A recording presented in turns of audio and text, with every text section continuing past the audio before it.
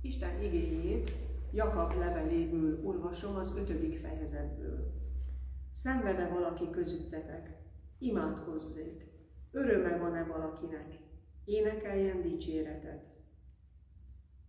A Bohumi Egyetem egyik pszichiáter oktatója hangsúlyozta nemrég egy rádió interjúban, hogy az emberi léthez feltétlenül hozzátartozik a képesség a szenvedésre. A test végességének elfogadása, az érzelmek skálájának megélése teszi teljessé az életet. Nem vagyunk robotok, a reakcióink igen árnyaltak. És éppen ezért az intelligens értelem soha nem fogja tudni lemásolni az embert. Jakab apostol Jézus példája nyomán már 2000 évvel ezelőtt arra inti a gyülekezet tagjait, hogy fogadják el a szenvedést úgy, mint az emberi lét velejáróját.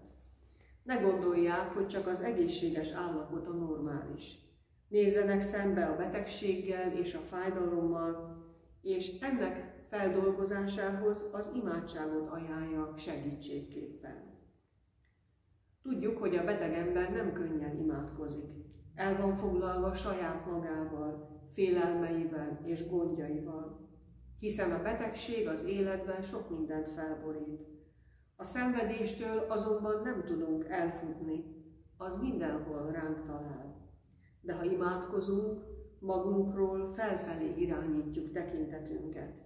Isten kezébe tudjuk letenni sorsunkat, jövőnket, és átélhetjük, hogy nem vagyunk egyedül, ebben az állapotban sem. A közeledő bőti időszakban Jézus keresztjének képe emlékeztet minket, hogy emberként őt sem kímélte a fájdalom. Velünk együtt szenved, hordozza betegségeinket, mellettünk van az utolsó órában is, és hazavisz bennünket.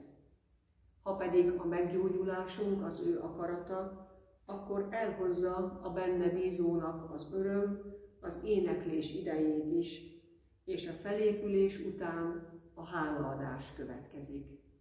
Amen.